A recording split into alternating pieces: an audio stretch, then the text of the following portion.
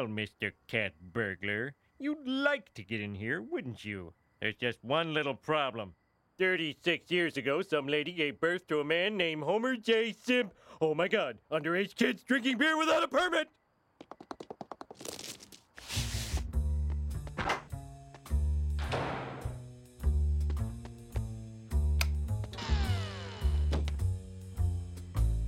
Chug, chug, chug, chug, chug, chug.